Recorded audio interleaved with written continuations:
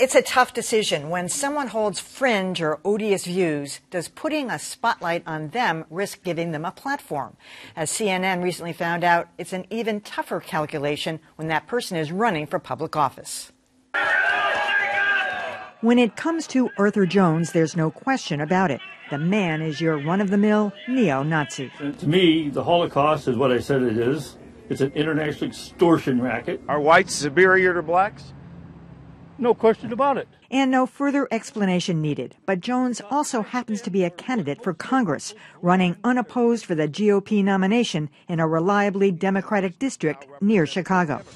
CNN apparently couldn't resist having Jones on for a grilling by Alisyn Camerota. You've been part of anti Semitic groups since the 1970s. You go to neo Nazi rallies. We have pictures of you there. You are, were part of the White People's Party. You dress in Nazi garb and you celebrate Hitler's birthday. Okay, then, but the interview continued with Jones spouting his views and waving around purported evidence that the Holocaust was a hoax. You've said that you don't believe the Holocaust. Forged records of Wow. Holocaust survivors. After six minutes of continued squabbling, Camerota tells Jones she's heard enough. I'm You going to be on the couldn't ballot win for the March 20th primary catcher. and on the ballot for the November election. Mr. Jones, we're going to go. I keep Well, if he couldn't win Dogcatcher, why bother talking to him in the first place? It's not just CNN. Um, I happened to catch this story a week ago in the New York Times. A lot of people have written about it. It's it's another thing they can't resist, and also he is going to win the nomination. But there's no reason for a national network to give him that kind of a platform.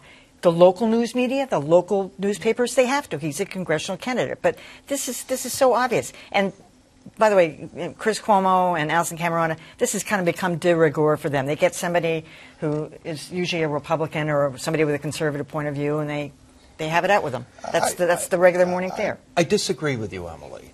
I, I- I have a line. My line is state legislature and below. If you have crazy, offensive candidates running for the state legislature somewhere, you don't interview them. This guy is a congressional candidate. He's going to be running against an incumbent congressman this fall. I think it's perfectly appropriate to interview him, and I thought Alisyn Camerota did what you need to do, which is just basically call him out, bring out his views. Uh, I, I don't think he should become a regular on the cable news circuit, but uh, I think that he's running for an important enough office uh, that he ought to be exposed. So wait, exposed. you think they did it for altruistic reasons, and not ratings? Of course, they did it for ratings. Everything, Right. every ratings figures into everything. But I also think that it was worth doing from a news point of view, and I thought she did a good job.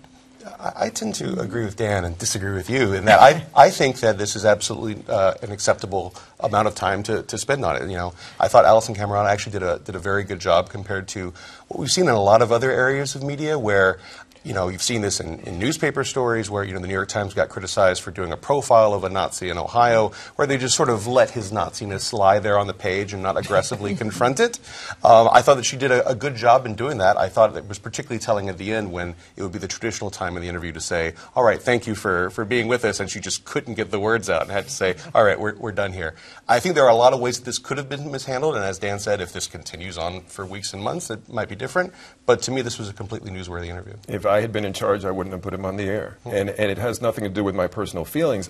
Every time there's a presidential campaign, and we go up to New Hampshire in the, during the election uh, cycle, you go up to New Hampshire, there are always these fringe and beyond fringe candidates who are running for president.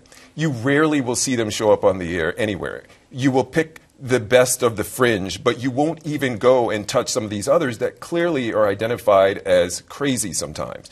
It, it happens all the time. They don't get this kind of attention. And I think you just, just because someone's running for a higher office doesn't mean that you should give them this amount of attention to, to spew the kind of things that they The, did. the difference, though, is get- that, that is that he's got to get the nomination. He's run for Congress but he's not going to multiple win. times. He doesn't have a chance of winning. He's going to win the primary. Well, you, yeah, he's going to win the primary, so I think you have to cover it. I, however, I don't think you have to give him six minutes on CNN. I think you could have pulled the clip from the from his rally. That's current. You can go pull another clip from a more current rally. Maybe you have two minutes if you want to say, and that's all we that's all we got here, folks. And that's enough of that because you really are giving the guy a platform, and he's just going for it because there's nothing. He's not having an exchange with you. He's just holding up all of his propaganda. Exactly. So that's my thing about it. Cover it. He's and it is a big enough office to cover, but I don't think we have to give him almost ten minutes Yeah. on the air. Think they're giving the, the Yeah. Democrat that? No. Mm-hmm.